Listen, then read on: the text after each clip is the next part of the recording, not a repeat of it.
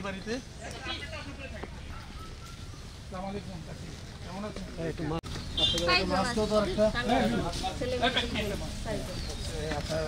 আচ্ছা, আপনি পরে নেন। এটা কেন পড়তে হয় জানেন? হ্যাঁ? কেমনে পড়তে হয় জানেন তো? দুই কানে দেন দুই কানে দেন এটা হ্যাঁ? দুই কানে দেন। হ্যাঁ মুখে লাগানো এই যে আমি কেমনে পড়ছি দেখেন। হ্যাঁ, কানে লাগানো এটা।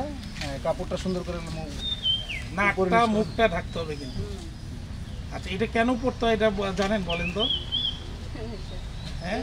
না না এটা হলো এই যে রোগটা যে আসতেছে নামটা শুনছেন তো? করোনা রোগ। তাই না? এটা একটা জীবাণু। হ্যাঁ? এটা বাতাসে আপনি যখন হাঁচি দিবেন আপনার যদি থাকে তো বাতাসে ছড়াচ্ছে না? তো ওইটা অন্য জায়গায় যাবে আবার। তো এই জন্য এটা পড়ে থাকলে কি হবে? আর একজন যাবে না তাই না? আবার মনে করেন আমার যদি থাকে রোগটা আপনার সাথে আমি কথা বলতেছি। and আমার যদি হাতি আসে বা আমি যে কথা বলতেছি মুখ দিয়ে বাতাস বেরোচ্ছে না তো ওইটার থেকে বেরোলে তো আপনারও লাগতে পারে। তো এই জন্য আপনি এটা পরে থাকবেন। বুঝতে পারছেন তো? এটা পরে ছয় ঘণ্টা ব্যবহার করবেন তারপরে ফালাই দিবেন। ফালাই দিবেন এমন জায়গা যাতে কেউ না ধাক ধরে। হুম? মাটি পুঁতে দিয়ে দিতে পারেন বা আগুনে পোড়ায় ফেলতে পারেন যাতে। নষ্ট না হয় হ্যাঁ? কাপড়ের একটা বানায় নিয়েন এটা আপনার জন্যই দরকার। বিশেষ করে যখন বাইরে টারে যাবেন বাইরের লোকজন যখন আসবে বয়স হয়েছে বসে হ্যাঁ তখন এটা লাগবে। বুঝতে পারছেন তো? আর আপনার এমনি বেরিয়েছি বিভিন্ন জায়গায় যাই হ্যাঁ উদ্দেশ্য হইল কিছুই না এই যে ছোটোখাটো এই যে ইয়াগুলা বলা আর কি যাতে সবাই সাবধানে থাকে। হ্যাঁ?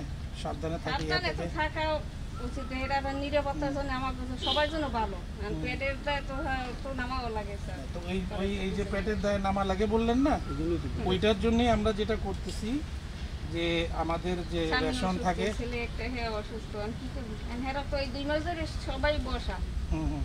লেখাপড়ি হ্যাঁ বন্ধ হ্যাঁ পর। কি করব? আমি একটু কাজ করি মাসে সেই জন্যই আমাদের খাবার থেকে খাবার বাঁচায় আপনার জন্য বাচ্চারা এই যে একটু খাবার আমাদের খাবারের থেকে আপনাদের দিচ্ছি। ঠিক আছে? এটার মধ্যে একটু চাল আছে ডাল আছে আলু আছে আলু আছে পেঁয়াজ আছে তেল আছে লবণ আছে। লবণ আছে হ্যাঁ সাবান আছে হাতটা ধুইতে হবে কিন্তু সবসময়। সাবান দিয়ে হাত ধুলে ওই ইয়েটা থাকে না। দিতে সাবান দিয়ে দিতে হবে সাবান সাবান দিয়ে দিতে হবে। সাবান দিয়ে দিলাম তো। একটা দিয়ে ধুইলি হয় আর কি। সাবান দিয়ে দিলাম একটু ওজন আছে? একুশ উপরে আপনি পরে ভিতরে নিয়ে। নিয়ে নিতে পারবেন? নিতে পারবেন? হ্যাঁ আচ্ছা শক্ত করে ধরেন কিন্তু। ঠিক আছে?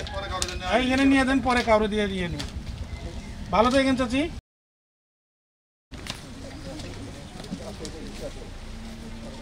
একটু একটু নিচ- নিচে স্থির রাখেন। এটার ভিতরে একটু চাল, ডাল এগুলো আছে, ঠিক আছে? একটু চাল আছে, ডাল আছে, তেল আছে, পেঁয়াজ আছে হ্যাঁ? লবণ আছে, আলু আছে, বুঝতে পারছেন তো? অ্যাটলিস্ট আপনাদের, আপনার ফ্যামিলিতে কয়জন বললেন? চারজন।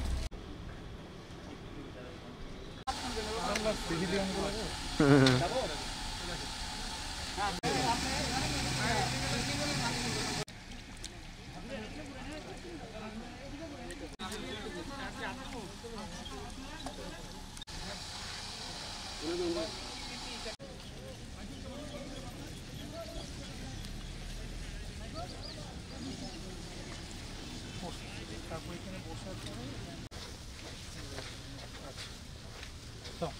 এমনি কারও কি এরকম আছে যে জটিল কোনো রোগ মানে সমস্যা আছে বা সুযোগ পান নাই আপনার?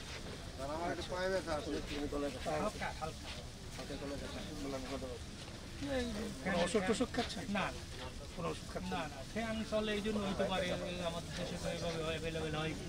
এখন সন্দেহটা দূর করে। কি ধরনের রোগী বেশি পাচ্ছ স্যার এই যে হাতে ব্যথা আছে নাকি